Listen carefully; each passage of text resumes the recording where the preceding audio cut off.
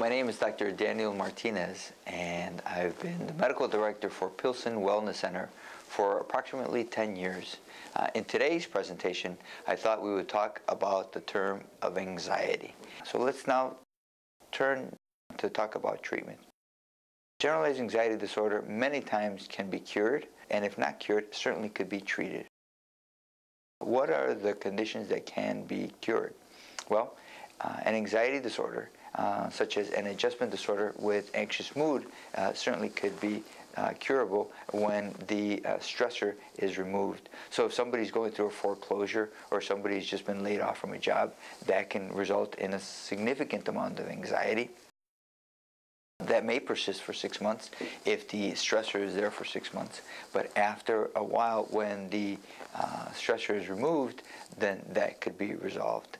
And so, uh, in those kinds of situations, we would work with a person's uh, ideas, we would work with their thoughts, their feelings, and their behaviors to help them gain control over these feelings.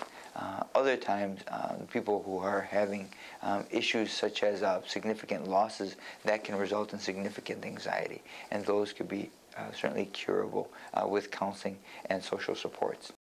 There is a condition that is biological, and in this uh, condition, it is believed that it is due to a deficiency in a brain chemical called serotonin. And for that, uh, one would need to see a psychiatrist. And the psychiatrist would prescribe a medication that would improve the serotonin levels in the brain. Uh, I like to look at uh, Dr. Daniel Amen's uh, SPECT scans. SPECT scans are uh, brain images that show uh, functioning um, or based on the amount of blood that's circulating. And uh, Dr. Daniel Amen talks about the basal ganglia as suffering from uh, a deficiency in serotonin, and as a result, it might be uh, overly active. So these are just theoretical issues, but they're nice uh, analogies to describe what is going on.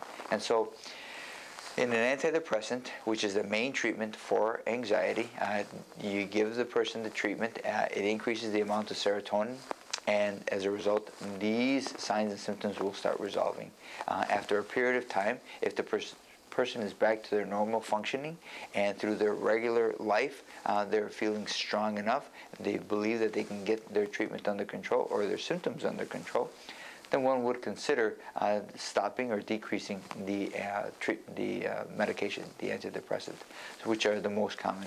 Um, I would also mention the minor tranquilizers, as they are commonly known, which are the benzodiazepines, medications like Xanax, Ativan, uh, lorazepam, uh, clonazepam or Klonopin, um, Valium. These medicines have also been uh, well documented in terms of treatment anxiety. The problem with these medicines is that they can cause addictions, they can cause depression in and of themselves, they can cause disinhibition, they can cause dizziness, and they can cause concentration problems. So one needs to be extremely careful when considering these medications.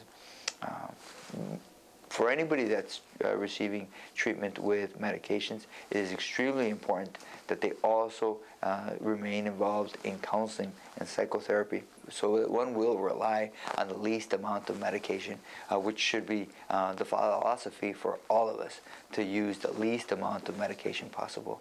Um, I think this wraps up uh, this uh, tape. thank you very much for your time.